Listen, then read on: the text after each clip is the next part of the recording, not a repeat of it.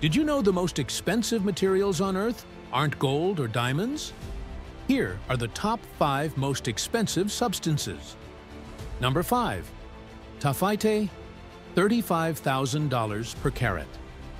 This ultra-rare gemstone is a million times rarer than diamonds. Number 4. Tritium, $30,000 per gram, a radioactive isotope used in glow-in-the-dark signs. Number 3. Diamond, up to $100,000 per carat.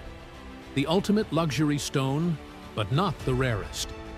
Number 2.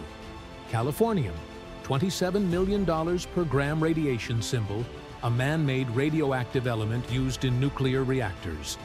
And at number 1, antimatter, a whopping $62.5 trillion per gram. It could power spaceships, but producing it is insanely expensive.